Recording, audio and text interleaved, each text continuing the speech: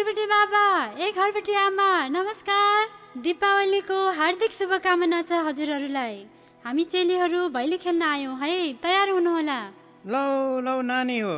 राम्रोसँग भैली गाऊ। हामी सिधा जान्दिन तयार छौँ।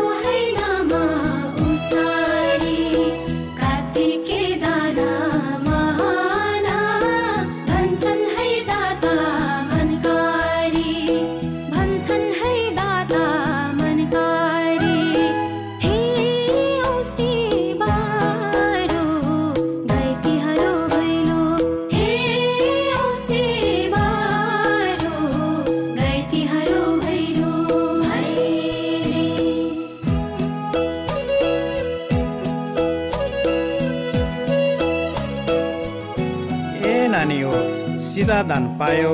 लौ अब राम्रोसँग आशिष दिएर बिदा हौ है त। हस् बाबा हस् आमा अब हामी त्यसै गर्छौँ।